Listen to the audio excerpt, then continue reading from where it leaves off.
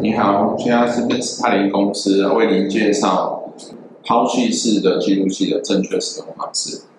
这个是美国的一家 Data Trip 的抛弃式记录器，它的原理是用物理式的温度针，像这种温度针，它会用温度针在我们的记录纸上面做一个刻画，然后来让你达到一个记录的时记录时间跟温度的一个曲线值。那它的记录时间的方式是使用时钟自走的方式来带动它的这一张纸的转动的速度，所以根据不同天数，它的转动的速度会不一样，但是它纸的长度都大概是固定的。好，那我们要开始正确开始使用之前，它是一个是这样子完整的一个包装。那我们打开之后就看到它这边会有一个一张纸跟一个铅条，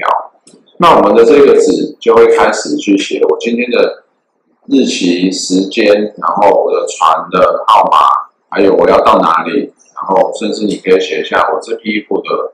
这个订单号码，然后签名这样子，然后这边都会有一个单独它的序号。那开始使用之前会把这个铅条拔掉，拔掉的时候呢，它里面的时钟就开始走，走的时候你可以从旁边的窥视孔去看它有没有正确的运转。那如果它有正确在运转的时候，你就可以去看到，哎，它的这一个是有在动作的。那到达目的地之后，到达目的地之后，它就属于一种破坏式的方式，就是把它打开这个纸，直接把它撕掉，撕开，撕开之后，它旁边会有个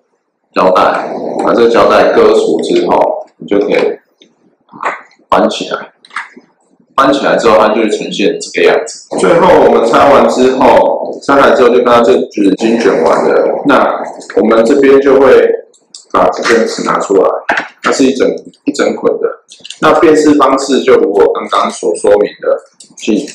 依照自己购买的天数，然后来看是对应上面的时间轴，或者是下面的时间轴，它会有长长的一卷纸。长度都是固定的，那它在这边上面会有这个部分，这个部分就是你刚刚写的那些资料，时间、日期、船号码跟你的一些订单的号码跟你的这个序号都会在这张纸上面。那它的这边也会在一起保留。那这个就是这一条，也是我刚才说它持续画的那个地方，所以我们就是从这边来开始做。判读说，哎，它的起始点是在这里，从这边开始做起始，那你就会看到它这边会有一个一条记录线，那基本上它就会有一一条完整的一条记录线在上面。只是的介绍就到这里，谢谢。